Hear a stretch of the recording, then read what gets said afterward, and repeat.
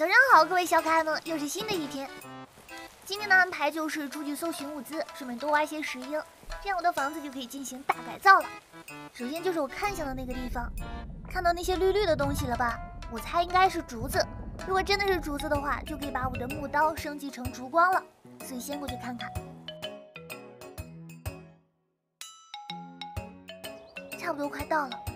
啊，这边还有羊，很好。等有时间了就把它们都牵回去。我房子装修需要大量的羊毛，正愁没地儿弄呢。看来是主子没错了。既然你们诚心诚意的出现，那我就大发慈悲的收下。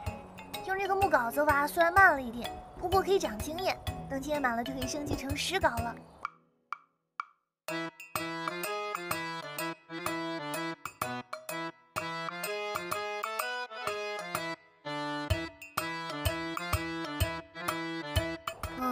嗯，一组多的竹子差不多能用很久了。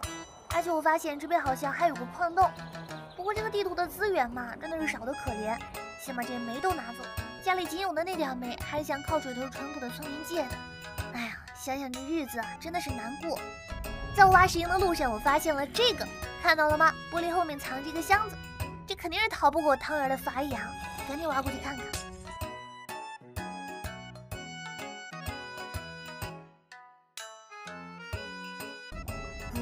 周围全部都是僵尸的声音。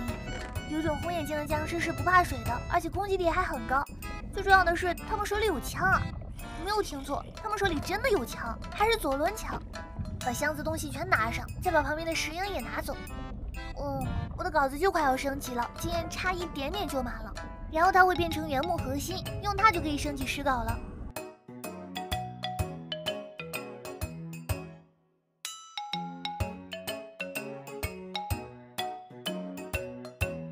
呃，我的稿子终于变成核心了，剩下两块就不拿了，还得赶紧回家要紧，不然真遇到那红眼僵尸，这身上东西可就全白瞎了。你们看到了吗？就是这个红色眼睛的僵尸。不过这个拿的是镐头，敢在我家撒野，我看你是不想活了吧？受死吧！哎呀，果然木刀的伤害还是太低了。不过这种僵尸本来就比较耐打。哦，第二天了，然后今天的目标就是收集足够的石英。回来重新装修一下我的房子，那我们出发，发现目标，这栋楼的石英我就收下了。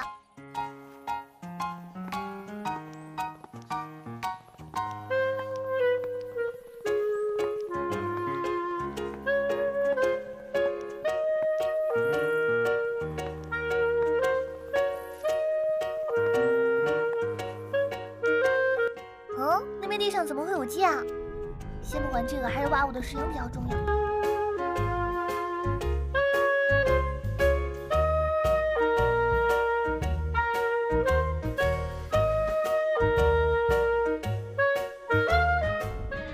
我怎么听到小白的声音，我刷这么多小白，窝在水里这些都不是怪物，这都是满满的经验。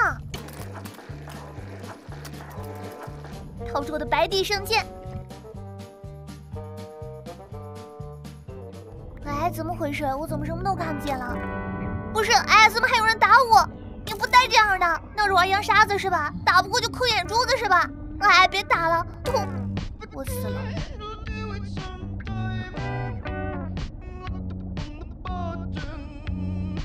都没了，除了我身上的衣服之外，什么都没了。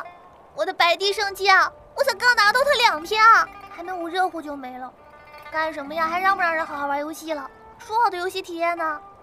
唉，我看我还是先装修一下房子，缓解缓解我悲伤的心情吧。